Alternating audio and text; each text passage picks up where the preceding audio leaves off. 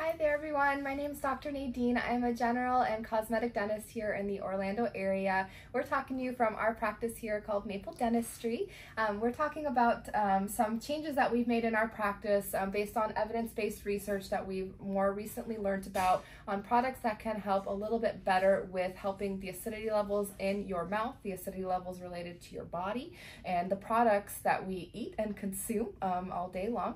Um, and so now we actually can talk about products products that can help you at home to better combat these acidic levels.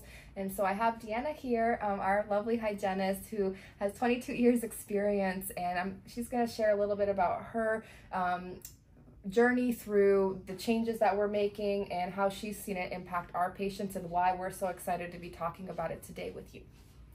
Hi. So a lot of times we have patients that mark on their health history that they have acid reflux, GERD, um, colitis, all these different factors that can uh, affect the pH in our mouth. So in the mouth, we start to see subtle changes. Sometimes it can be something simple like a little chip, a little worn down tooth. Over the years, you can start to see further enamel changes where the enamel looks a little eroded, where it can become translucent. So we decided we needed to find things that can help protect our enamel at home. We look into diet, uh, ways to elevate the pH in our mouth, and this is where I'm going to pass it off to you to let patients know what they can further do at home. Perfect. Thank you so much.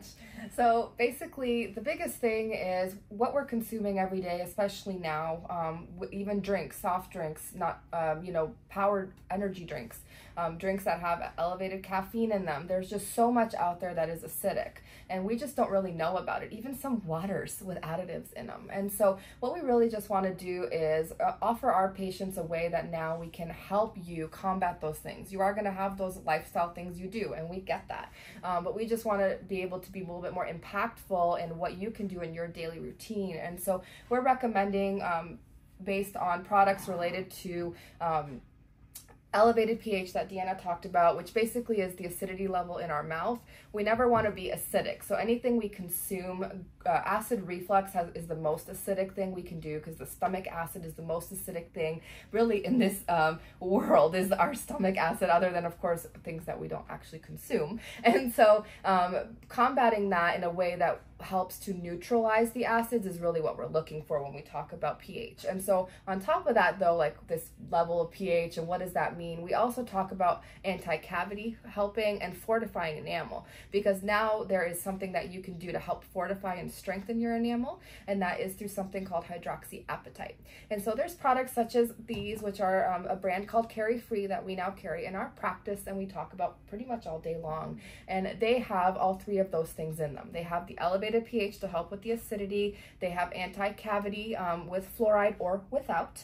And they have hydroxyapatite, which is that fortifier that helps to rebuild and helps you re-strengthen your enamel in a better way. So we're just really excited about it and we wanted to share that with viewers at home.